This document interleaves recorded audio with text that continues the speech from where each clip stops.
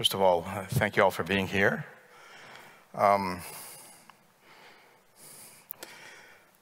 I wanted to start by uh, talking about the place we're in. So a couple of days ago, uh, we all mentioned the uh, three reasons to celebrate and congratulate uh, the UAE, your National Day, um, the 50th uh, anniversary of it, Expo 2020, and of course uh, the holding of the WPC, uh, which is in itself uh, a remarkable achievement because, as was mentioned earlier, it's the first major uh, intellectual event that is being held uh, in person. So I'm the Iraqi ambassador to the United States, and today for me is also a very special day. Um, we have actually two reasons to celebrate. The first is in about a week, we will be holding elections. They're important. They're our second uh, post-ISIS elections. And uh, all signals indicate that uh, things are going uh, not ideally, but uh, reasonably well to, for us to be quite hopeful. Um, the second reason is that uh, today has been decided to, by the Council of Ministers to be Iraq's national holiday. Uh, it marks the adhesion of the uh, Iraqi state, uh, freshly out of the uh, um, post-World World War I mandate, into the League of Nations. That happened 99 years ago. Now, I mention it because uh, very shortly thereafter, the uh, representative of Iraq to the League of Nations was a certain Muzahim Pachachi who eventually became prime minister, but I mention him because he is the father of Adnan Pachachi, who was uh, one of the uh, friends of uh, Sheikh Zayed, uh, Minister of State of Abu Dhabi, and also the person who raised the UAE uh, uh, flag at the United Nations. And I mention this because he was, I was close to him, I was one of his advisors.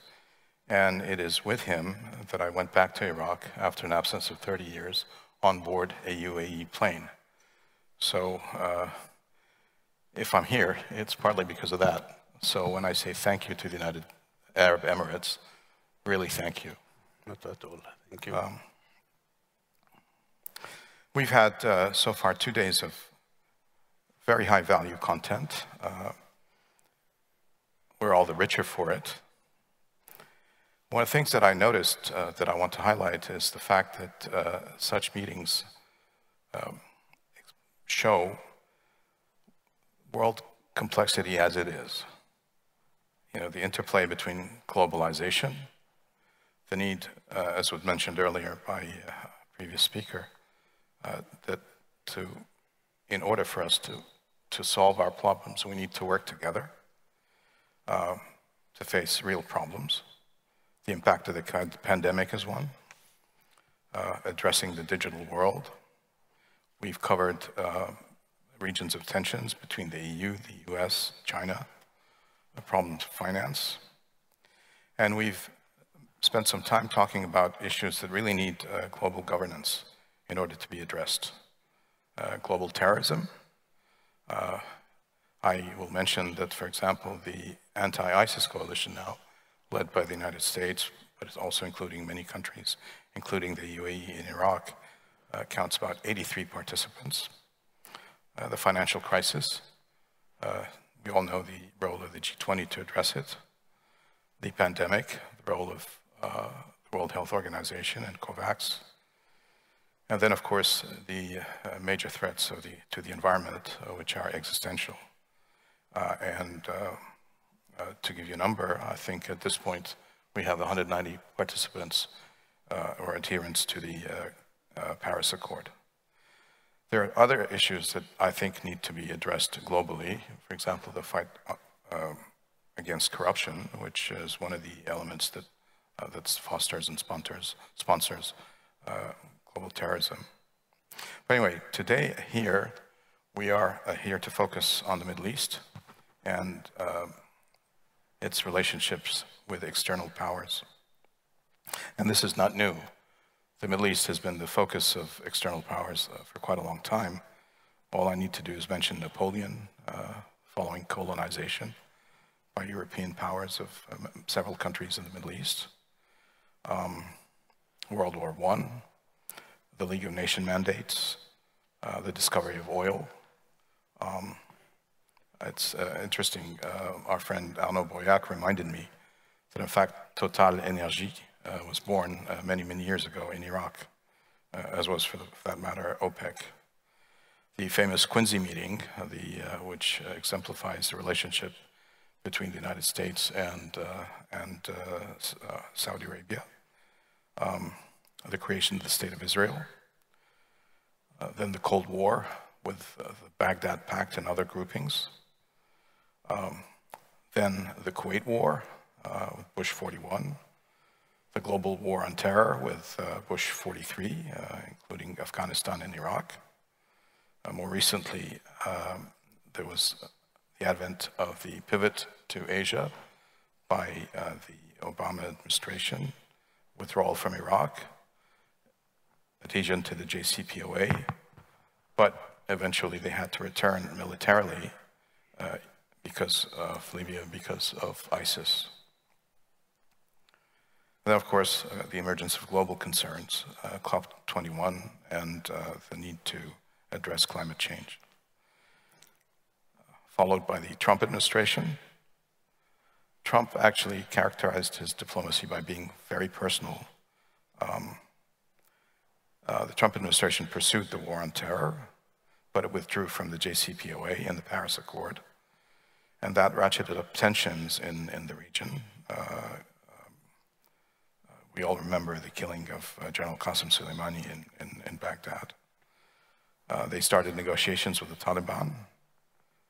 Um, and then, of course, uh, culminating with the Abraham Accords uh, that were mentioned earlier. Of course, many countries this is, as was mentioned, a, a very controversial and, and, and, emotional topic in the Middle East.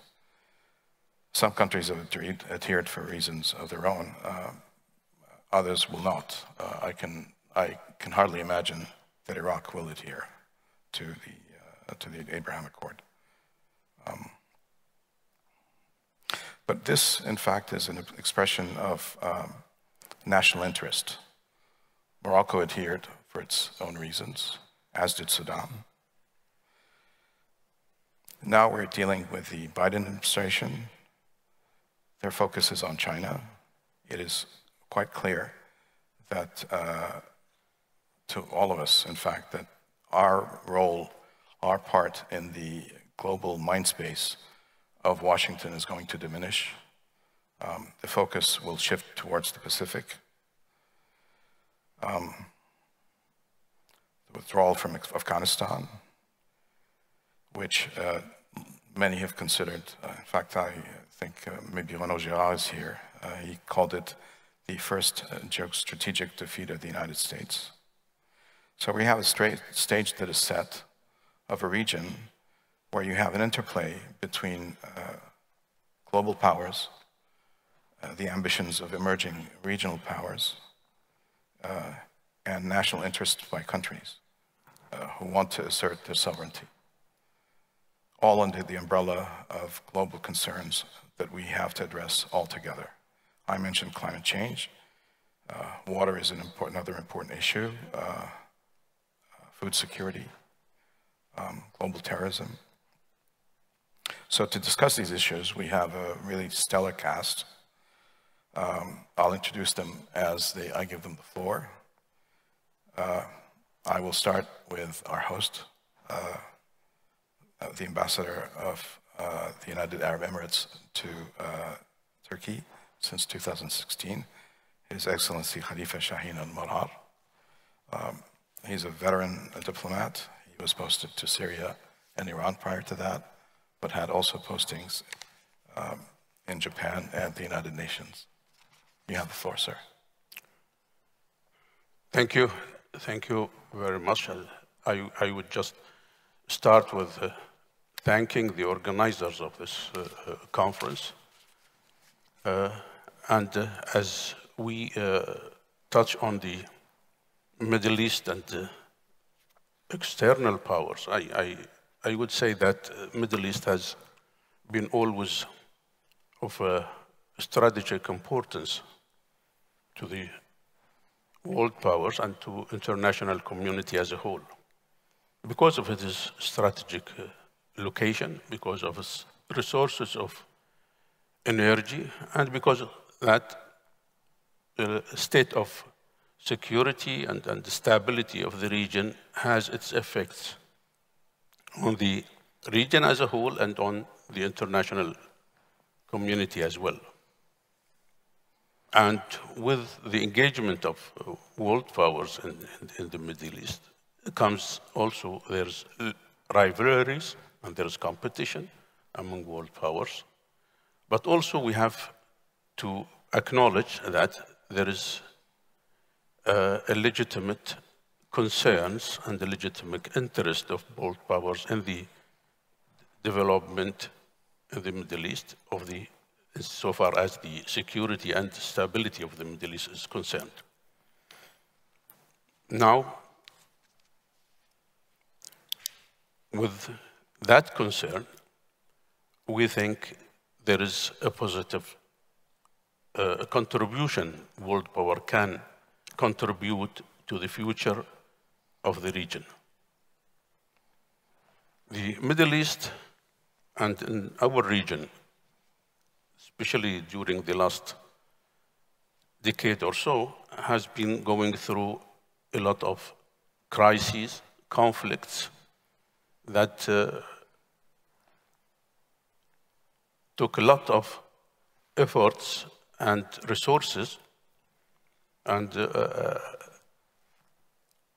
shook the foundation of the national state institutions. Now, there is a consensus among Arab countries that any malicious intervention in the crises in the, in the region only exacerbate these crises, exacerbate the conflicts, and uh, uh, make a very complex situation more, more complex. So what we think that needed is to promote stability, to promote security, and to promote peaceful uh, uh, resolution of conflicts. And that's what we in Emirates are focusing on. We have been always promoting stability in the region, working for the stability in the region, and promoting a stability that could lead to prosperity and to preserve uh, uh, security, a long-term security of the region. And in that quest, we have uh, promoted uh, uh, building bridges with, with, the, with the, all the countries and all the uh, uh, uh, nations in the, in the region. And we have working for the prosperity, settlement, peaceful settlement of conflicts, for prosperity, and for long-term stability and security for the region. Now, we think that what needed from the uh, uh, uh, world powers as, as well as the regional powers, first to in, refrain from interfering into the internal affairs of the Arab countries, assist into finding peaceful solutions to the conflicts, and also assist into building, rebuilding the, the, the region. So with all the challenges we are facing in the region, there is more connection is needed to connect with all, all the countries, to uh, have dialogue, and to promote peace and security and uh, uh, uh, uh peaceful settlement of, of, of, conflicts.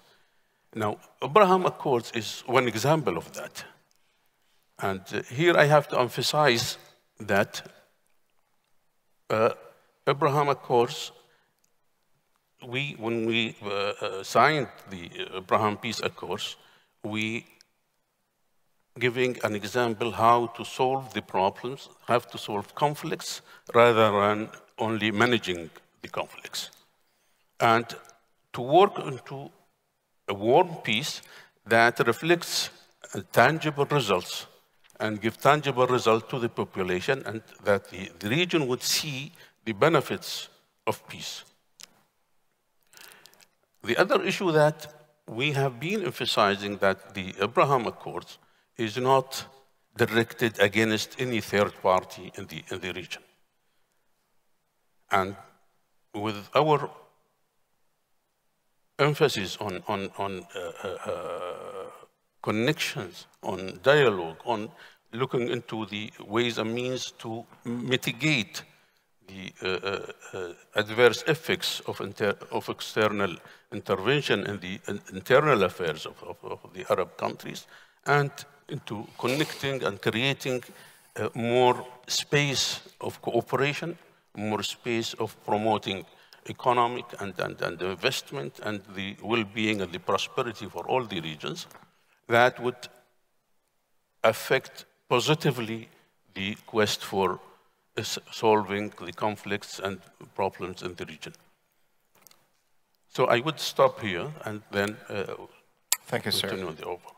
So dialogue, uh, search for prosperity, um, and engagement. Um, thank you. Um, and the UAE has been doing all of that.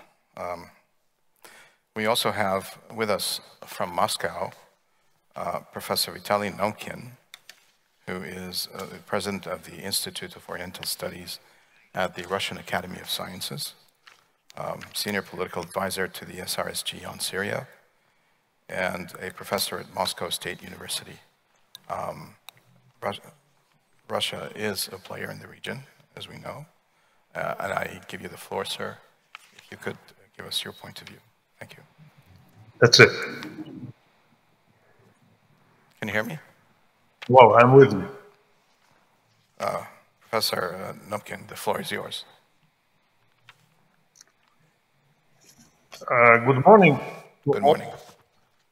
It's a great honor and uh, big privilege for me to be with you and to speak to this distinguished audience. So I'm speaking about uh, Russia's role in the Middle East in the realm of the external powers' presence there. Uh, we can see that uh, during the last years, uh, um, the Middle East uh, came back to the Russian to, to Russia's priorities in Russia's uh, foreign policy. why? Because First, uh, Russia started to establish itself as one of the most important uh, key players uh, in the world, global players and regional players as well. Uh, then uh, the fact that uh, Russia's ties with the Middle East are historic. They are based on the legacy of very deep cooperation and links between the peoples of the Middle East and the Russian people.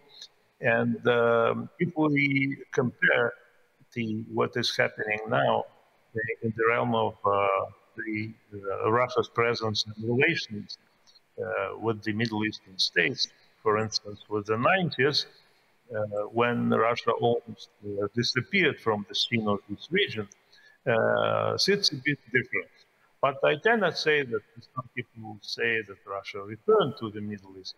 We can say that Russia uh, successfully uh, upgraded its presence or its influence in the Middle East and uh, started from 2015.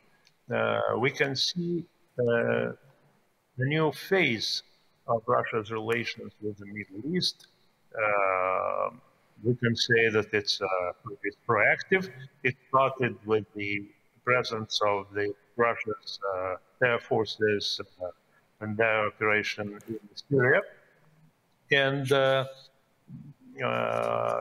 speaking about the goals of Russia's presence, we can see that it's mostly uh, the same interest as uh, what uh, my colleagues said about the other external powers. I can say that it's cooperation between Russia and the Middle East economically, politically, even militarily, given that, for instance, Russia needs uh, some moderate facilities for serving its uh, fleet in the Mediterranean. That's why uh, Russia's bases in Syria are fulfilling this goal. But it's a secondary goal. The first goal, of course, is interest uh, of uh, stability in the Middle East, security uh, in this region, because it's very close to the borders of Russia's partners in Central Asia and the Caucasus.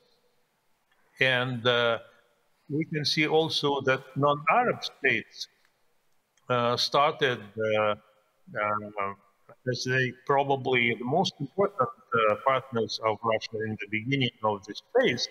Uh, and then other states um, entered the group of, of the most close partners of Russia. If we speak about Turkey, for instance, as one of the non-Arab partners, it's uh, uh, the most amazing, the most important uh, uh economic contracts and projects like uh, nuclear power station or plant or the Turkish Stream gas pipeline.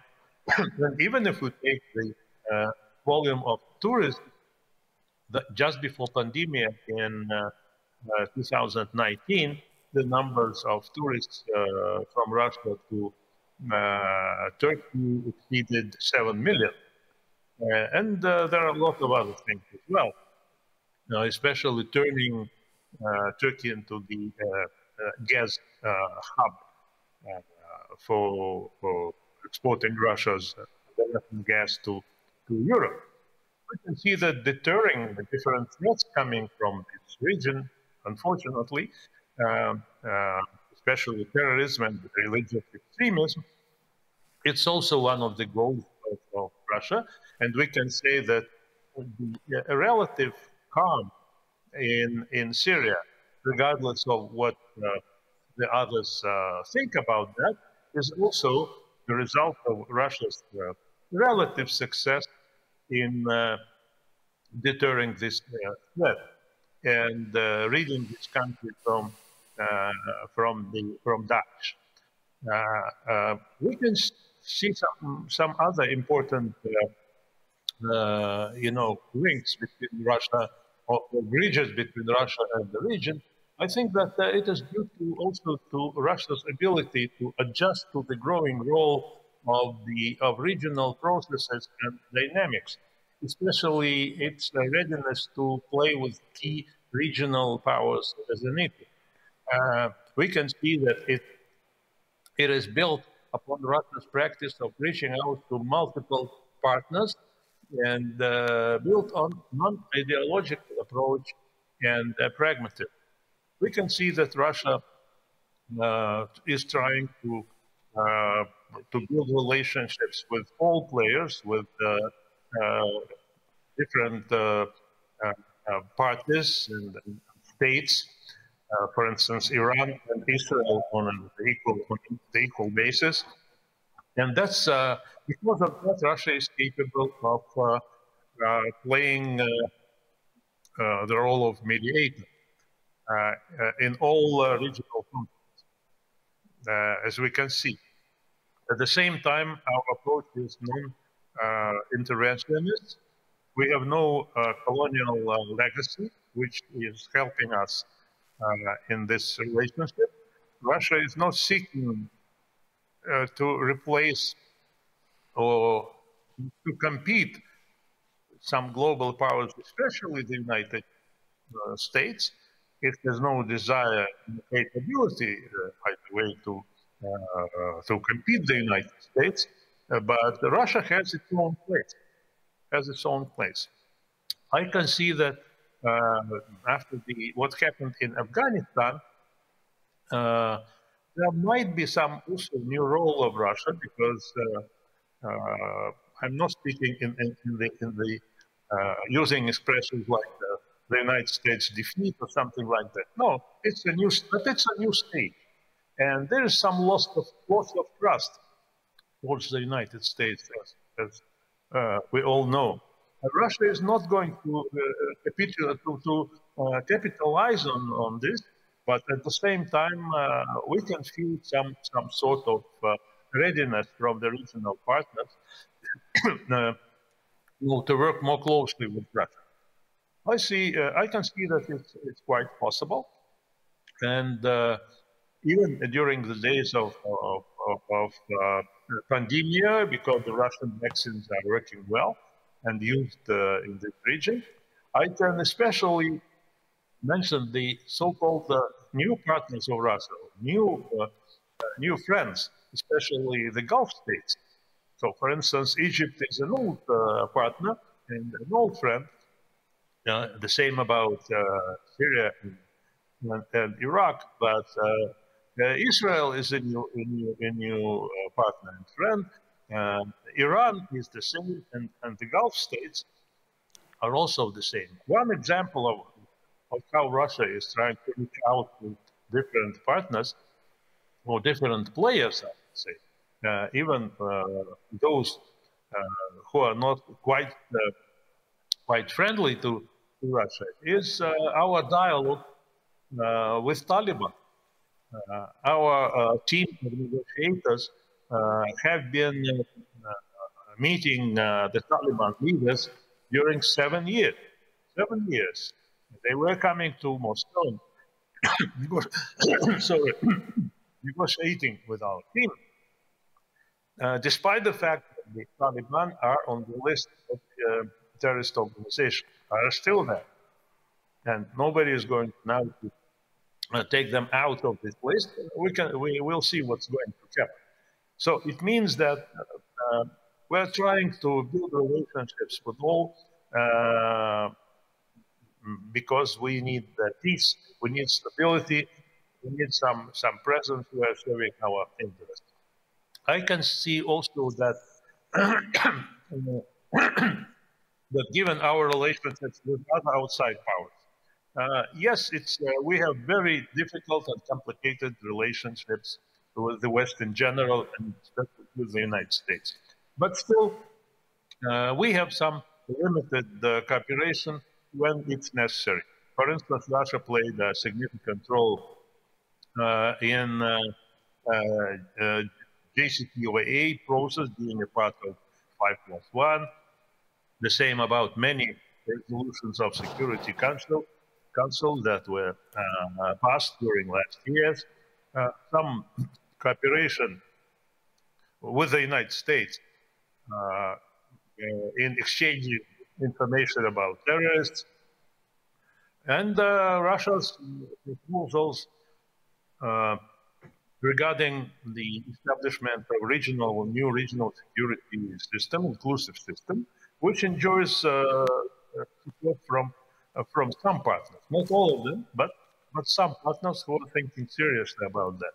I could say also that some regional conflicts that are almost neglected now by many global and regional players like uh, Palestinian-Israeli conflict is in the still in the center of uh, of uh, the attention of the Russian diplomacy because Russia believes that without the solution of the uh, Palestinian problem, no peace can be uh, achieved in the Middle East.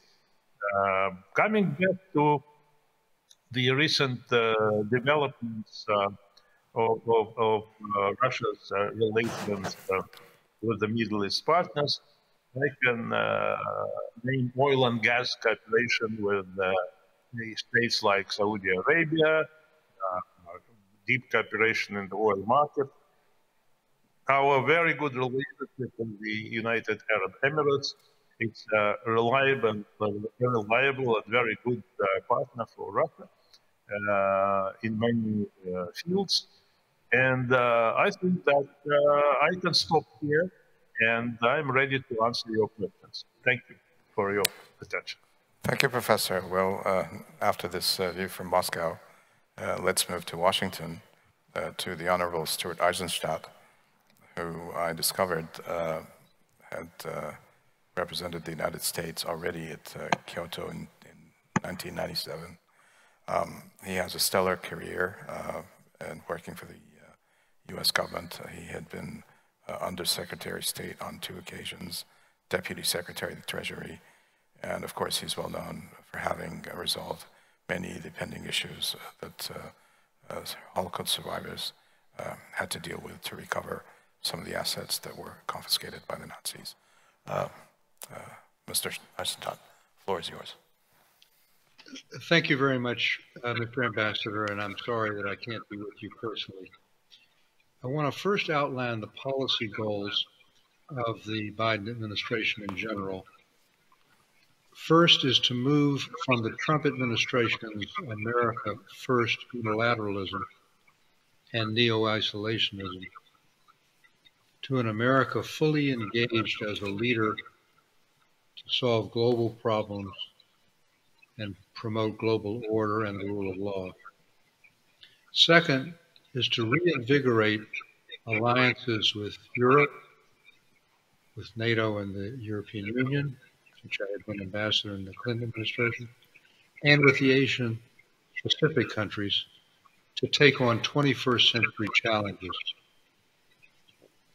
First is to deal with anti-terrorism, Al Qaeda and ISIS, Second, global health issues, particularly the COVID pandemic, where the administration has donated more vaccines to COVAX for Africa and developing countries than any other country.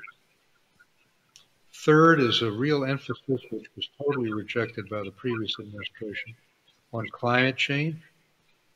Former Secretary of State John Kerry has been designated as the leader and we're pointing toward Glasgow. But we realize that this also requires global cooperation.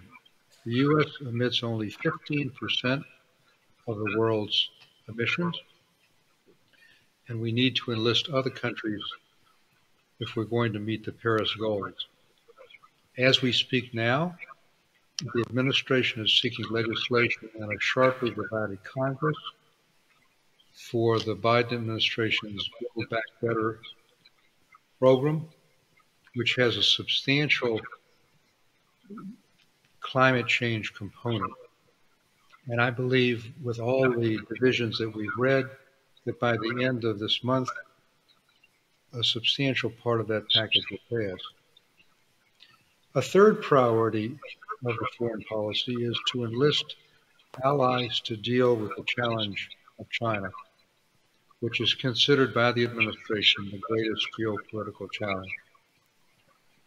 Secretary Blinken has put it very clearly this way we will compete economically, technologically, and militarily with China.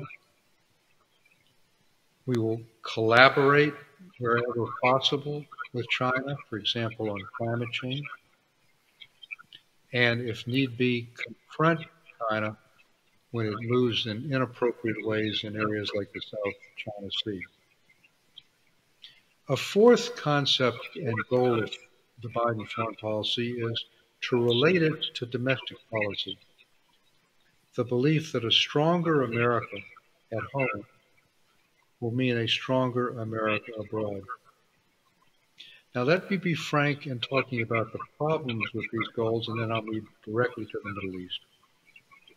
The first problem in achieving these goals is, quite frankly, the United States, which is still the strongest power militarily and economically, does not have the unchallenged supremacy it did 10 to 15 years ago, dealing with the rise of China, with a more assertive and aggressive Russia, and with the rise of regional powers from North Korea to Iran and beyond. Second, it's very difficult to achieve many of these goals without the projection of military force.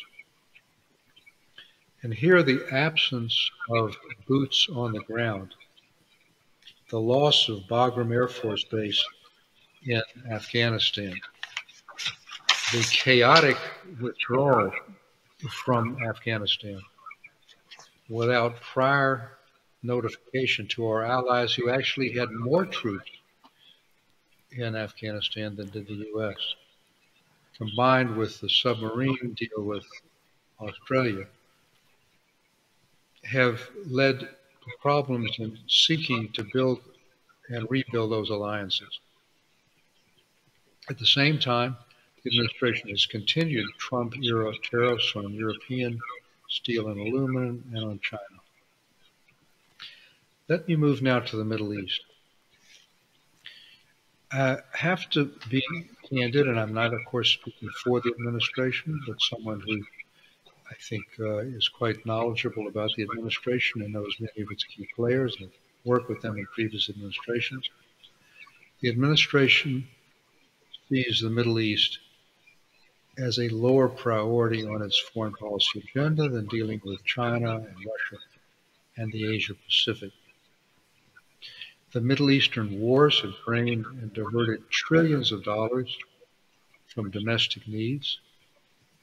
And in an era of high domestic polarization politically, there is bipartisan agreement to focus more on China and less on what are called endless wars.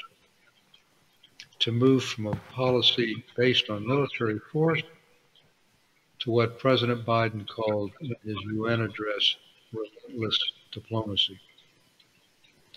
Now, let me quote my good friend, Secretary of State Tony Blinken. And he said, just as a matter of time allocation and budget priorities, I think we'll be giving less to the Middle East, not more the National Security Advisor, Jake Sullivan, said that one of the mistakes of U.S. foreign policy in the Middle East over the last several decades under both Republican and Democratic administrations was putting greater priority to military than diplomatic components. In their recently released interim national security strategy guidelines, it is notable how little attention has been given in that document to the Middle East. There is a statement about maintaining ironclad commitments to Israel and security and promoting a two state solution. But there is a realization that trying to relaunch the kind of aggressive peace process that then Secretary of State Kerry did in 2014 and the Obama administration is not going to be fruitful. Neither side is prepared to make the kinds of compromises that would make such a peace agreement possible. Therefore, the administration will put greater emphasis than the previous administration on improving the lives of Palestinians and opposing the expansion of Israeli settlements, which would complicate an eventual two state solution. The second piece of this new national security strategy is to work with regional partners in the Middle East to deter Iranian aggression. The Third, component of the Middle East piece of this strategy is to disrupt Al Qaeda and related terrorist networks and to prevent a resurgence of ISIS. And next is to resolve armed conflicts, but with a clear statement, and I'm virtually quoting from this document, that we do not believe that military force is the answer to the recent challenges, and we will not give our partners in the Middle East and that means in part Saudi Arabia, what they call in their document a blank check to pursue policies at odds with American interests and values. And they say in this document that is why we have withdrawn U.S. support for offensive military operations in Yemen and backed UN efforts to end the war. They state that our aim will be to de escalate regional tensions and create space for people throughout the Middle East to realize their aspirations. They further state that in the Middle East, we will right size, and frankly, that's a diplomatic term for reduce, our military presence to the level required to disrupt international terrorist networks, to deter Iranian aggression, and protect other vital U.S. interests. Now, I believe that those would have been better served if we had continued to keep 3,000 U.S. troops in Afghanistan, uh, but that obviously was not the decision that the president made. Now, beyond that, there will be support for the Trump era Abraham Accords and an effort to expand them. There will, in my opinion, be continued support for the condition of Morocco entering into normalized relations with Israel, mainly Moroccan sovereignty over the Western Sahara. And I've been to Morocco many, many times and have the privilege of serving on an advisory board of OCP, one of their largest companies. I think also the administration will continue to keep Sudan off the terrorist list, so-called SST list, which was their condition for normalization. Now let me close with talking about Iran.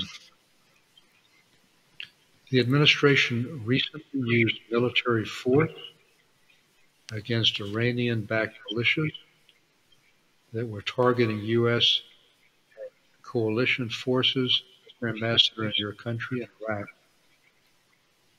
There is a strong desire to get Iran back into the JCPOA, and there is a feeling that the decision by President Trump to withdraw from it, with all its imperfections, has opened the door for Iran to break through the limits of the 2015 agreement and to get perilously close to a ability to produce weapons grade nuclear fuel. If I can be more specific, under the 2015 JCPOA, Iran was limited to enrich uranium enrichment to less than 4%. And may I say to my Russian colleagues, Russia played a very constructive role in the JCPOA, not just in the negotiations, but it was the location in which Iran sent its enriched uranium.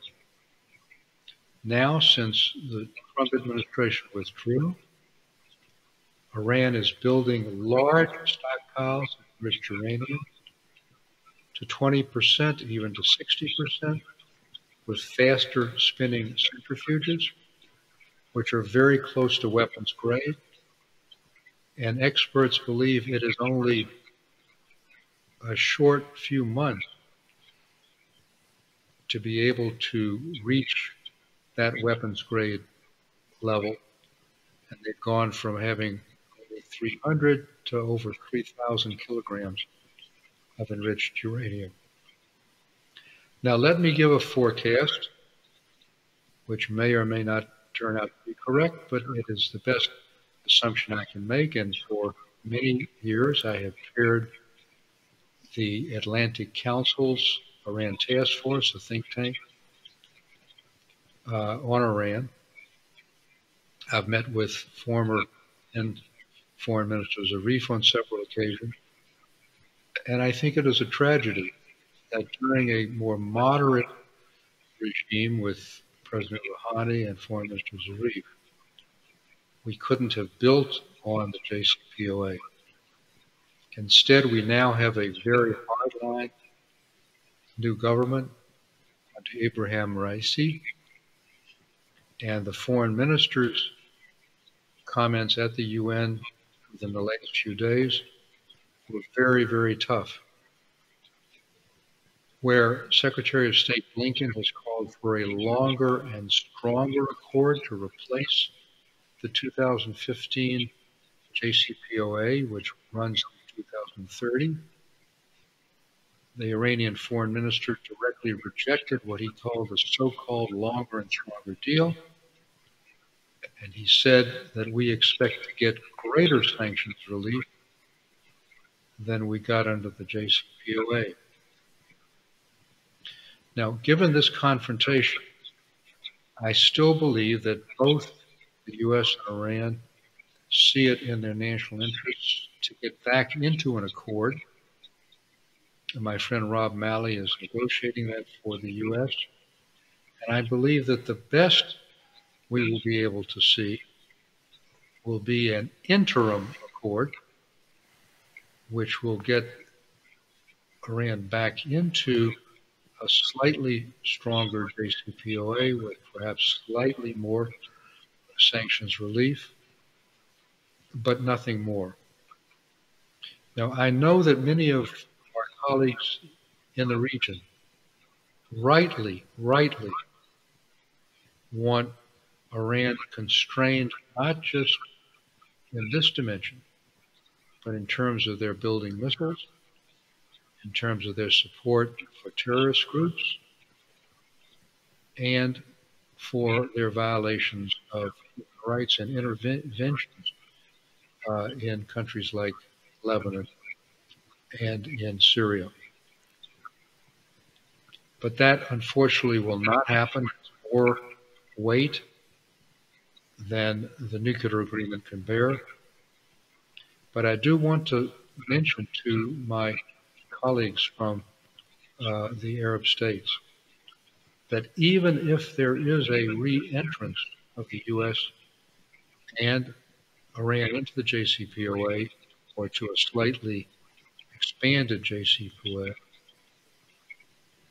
the U.S. continues to maintain sanctions, separate sanctions, on Iran for its nuclear missile program and for its support for terrorism. And is shown by the recent military attack that I mentioned on Iranian backed militias operating in Iraq, it will not hesitate to take such actions. Thank you very much for allowing me to participate in this uh, panel and in my dear friend Thierry Montbrial's uh, World Policy Conference. I'm more than happy to take any questions. Well, thank you for staying up so late. It's around, I think, what, 2 o'clock or 3 o'clock in the morning where it's you are. Not so much staying up late as getting up early. anyway, thank you all the same. Um, so last but not least, uh, we have Mr. Memduh Karakullukçu, uh, who is the founding president of the Global Relations Forum, a founding partner of Kanunum, uh, chairman of the Kroton Consultancy, and a founder of a university, and uh, also a graduate of Course 6 and Course 14 at MIT. Uh, you have the floor. Thank you very much, Ambassador. Well, let me start, like everyone else, by thanking the organizers and Thierry de Montbrial for really being persistent about this conference and making this happen. I, it's a very personal thing. I really, truly had missed being with friends, making new friends, the exchanges at dinners. This was fabulous. So thank you from the bottom of my heart that this was, uh, we very much appreciate it. Um, it is, I mean, when I looked at the program, I liked the seeing the Middle East on the third day, although a very extended Middle East emphasis. Still, it's the third day. To me, that signified the Middle East crises, the pressing nature of Middle East has been pushed back. The world has bigger fish to fry these days. That's always good. I mean, I, I felt comfortable with that choice. Usually, when we talk about the Middle East, myself included, I, we end up on a downbeat note. I remember the, the, the pre-COVID, my last presentation was in Singapore on the Middle East, and I was going on about how the Asian miracle, economic miracle, was not applicable to the Middle East, that the Middle East is in a deadlock, it's not going to happen. So there's always this negative sentiment, negative analysis. When after the sort of the experience of COVID, when we start post-COVID with again the Middle East, I thought I really don't want to start with a negative message.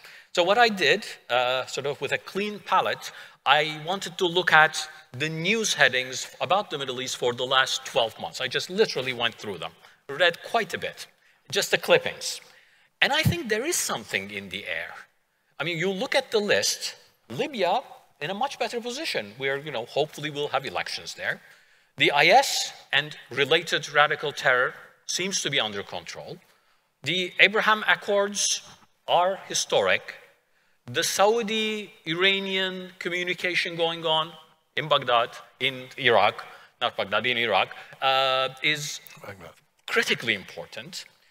Intra-GCC rapprochement is very good. And then the Turkish, UAE, Egypt thawing, let's say, because we just heard the minister, it's go going very slowly, but nevertheless, there is thawing. So you put all those together, and there seems to be something in the air.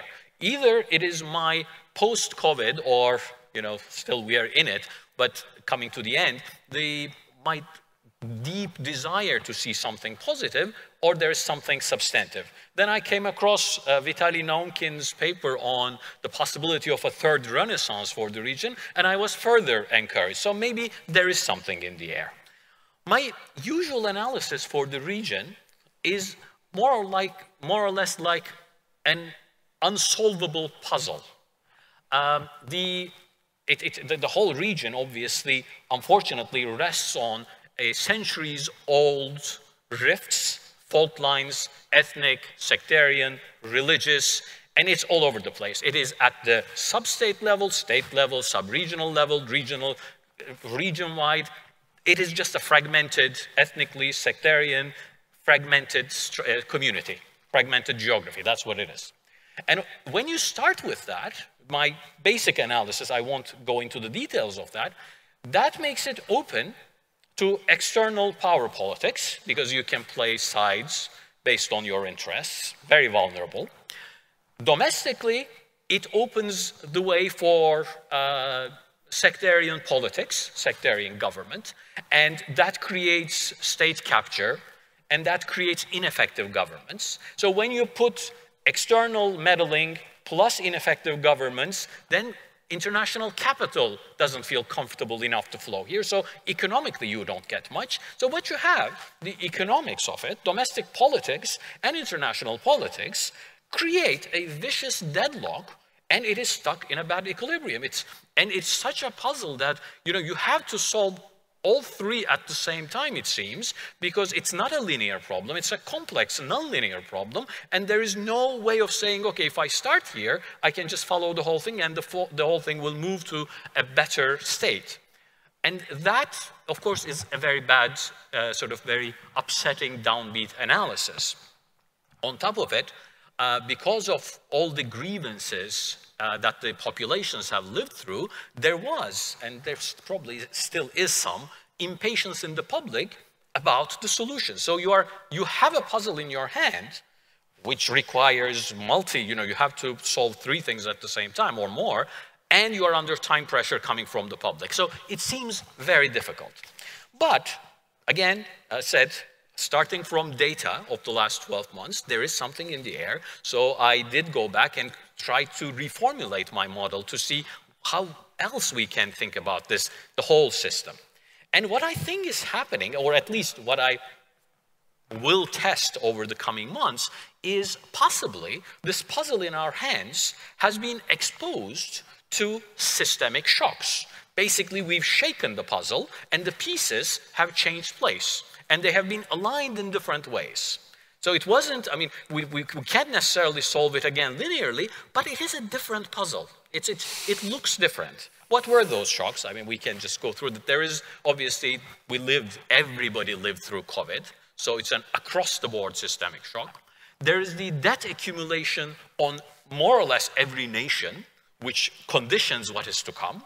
There is the history, the memory, the tragic memory of Libya, Syria on, in our minds. There's the prospect of climate for all of us. So these are all systemic risks that we'll have to deal with.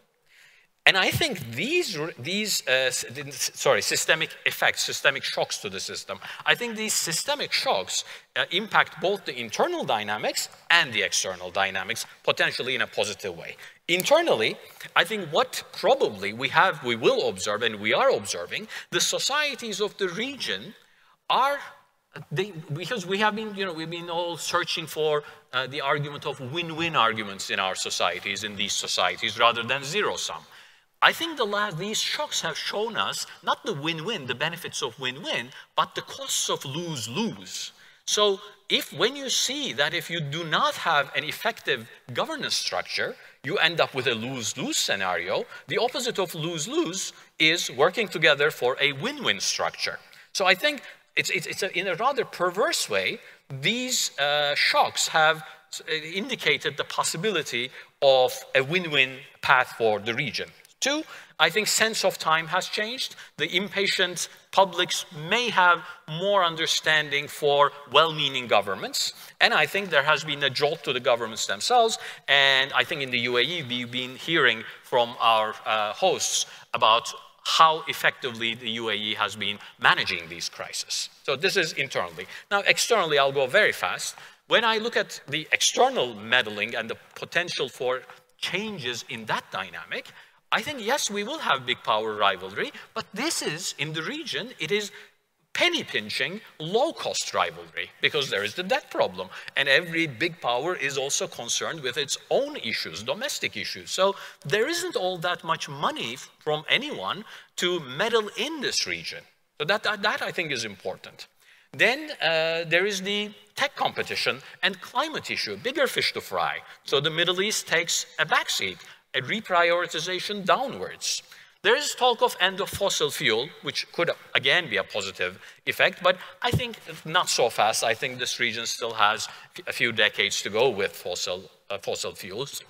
But I think uh, the technology competition controlling microchips and the precision equipment for microchips is a much more surgical way to compete rather than you know, unsettling the whole energy system globally. So I think we will not see much of that. And then there's, of course, uh, the subsiding tariff. So all those effects, I think, cut across the big powers and suggest that we may be in uh, for a period where there won't be as much meddling.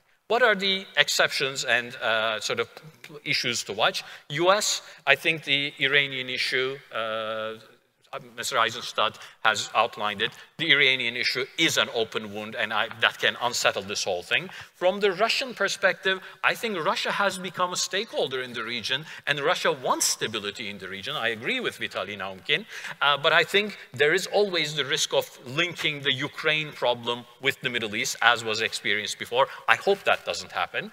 With China, we heard Mr. Rudd, uh, I mean, China is still sort of trying to change the balance. If China uses this region as an element in that shift of balance, that is something to watch out for. And in the EU, I mean, I think EU as in totality doesn't uh, sort of is not a very active actor, but the nation states are. And I, I, see France and Mr. Macron in the region quite frequently, which is again very positive. As long as the nation states of Europe are conciliatory powers, I think that'll be helpful but there is a lot of baggage, so one needs to do it with care. Finally, just a few words on Turkey.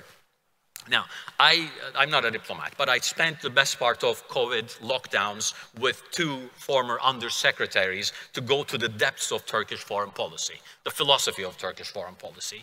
When the nation was established in 1923, it was very clear. Strategically, it was a nation building process, and it was very clear strategically that the nation needed to have peace with its neighbors and beyond so that we could focus on internal matters. And that is a cardinal rule that has been ingrained into the philosophy of the Republic for a long, long period. I mean, some of these basic tenets that come from Atatürk himself, and were, I think, in the custody of the Ministry of Foreign Affairs, was do not meddle in the affairs of other nations, uh, be equidistant to Middle Eastern conflicts and affairs. That's very critical. That's really a cardinal rule again. And do, going beyond, don't give advice to anyone if they don't seek your advice. So these are fundamentals of Turkish foreign policy. What, how come, of course, I mean, many of you will think the Turkish foreign policy lately has been on a more activist strain, arguably. Uh, the, the possibility, the, the argument, the discussion we have back at home is two things are drawing us into the region. One, the PKK, YPG terror. This is very close to heart. And the second one is the refugee problem. Those two problems could we handle them the last 10 years with this dispassionate equidistance approach, or did we have to make an exception, an aberration in our policy? That discussion is still going on. I don't know the answer. I think historically we'll look back and see which way it is. But the bottom line is, I think it is in the interest of Turkey, it is in the interest of the region, it is in the interest of the world for Turkey to be at equidistant from Middle Eastern conflicts. And to do that, we need to find fast solutions to the refugee problem and the YPG terror coming from the region. Once those two are resolved, I think Turkey will go back to its traditional uh, foreign policy uh, philosophy of being equidistant from the region and contributing to a more positive uh, regional uh, future. So with that, I think there is something in the air. I don't know if this is the turning point, but I think there is a possibility. This is a new puzzle. Dialogues like this, conferences like this, this is where we have the opportunity to think about the new puzzle and hopefully put the pieces together. Thank you very much. Thank you, Memduh. Well, what you uh, mentioned about the onset of the uh, Turkish Republic actually echoes very much with us in Iraq. Uh, we were engaged in an existential battle, and now we uh, are engaged in a reconstruction process. Uh, the really interesting thing about the uh, politics of Iraq right now, and you've put your finger on uh, an important point of you know, tensions between communities. Uh, if you look at the political uh, landscape in Iraq, the uh, tensions or conflicts are not between communities. They're within political groupings within communities. And so the really interesting thing that I take out of this is that it is very possible, in fact, uh, probable that we will have cross-cutting uh, uh, alliances that represent politics as it should be within a national framework. And with this, I, I think uh, we're, we're, we're actually quite optimistic looking to the elections I alluded to uh, at the beginning of my intervention. We don't have much time, but uh, if the, we don't have time. No. We're done. We're done. So thank you very much. Thank you. Uh, thank you, Professor Naumkin. Um, thank you, uh, Stuart Eizenstat, for being up so late. And uh, thank you for your interventions. And again, thank you for your hospitality. Thank you. Thank you. And Thierry, thank you for holding this remarkable event and pulling it together.